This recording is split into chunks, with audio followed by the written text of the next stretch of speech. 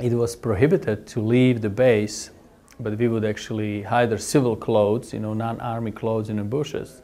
So after the 10 o'clock, we would, you know, dress, jump the fence, run down to the city, and we would, you know, do the revolution like everybody else.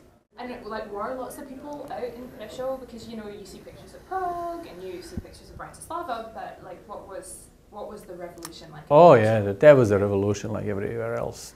Thousands of people in the streets, full streets, you know, just you know. And was it I exciting? know everybody. Of course, it was. It was so exciting. You know, that was that was the time.